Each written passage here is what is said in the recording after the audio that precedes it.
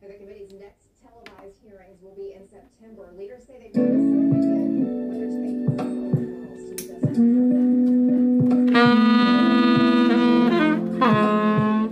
doesn't have that.